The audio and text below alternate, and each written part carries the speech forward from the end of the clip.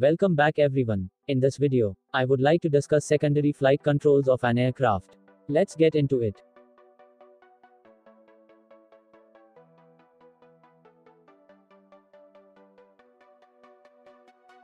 Secondary flight controls are those which are not compulsory for an aircraft.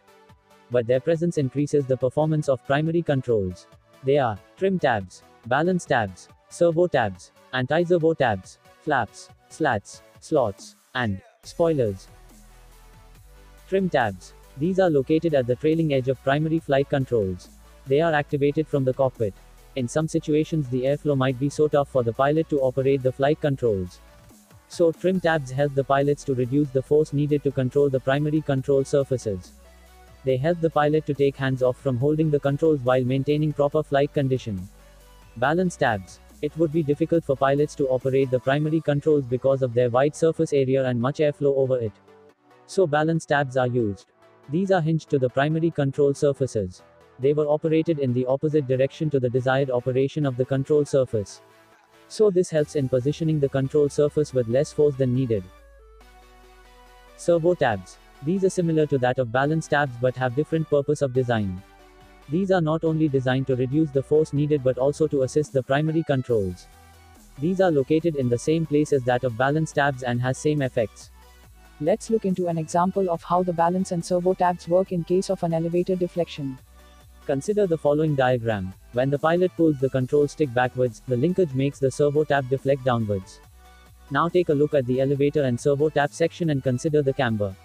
Lift will be produced in the elevator, due to which the elevator rises up and when the elevator rises up there will be negative lift in the tail of an aircraft.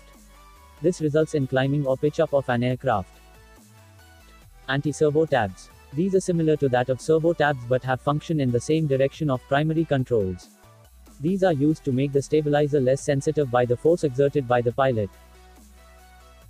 Flaps. These are located at the trailing edge of the wing, adjacent to the fuselage. They provide high lift at low speeds. These are lowered downwards to increase the camber, which provides lift. During takeoff, flaps are operated moderately for high lift and low drag, and during landing they are deployed completely, for generating high lift and high drag. Flaps help the aircraft to reduce the usage of runway during takeoff and landing.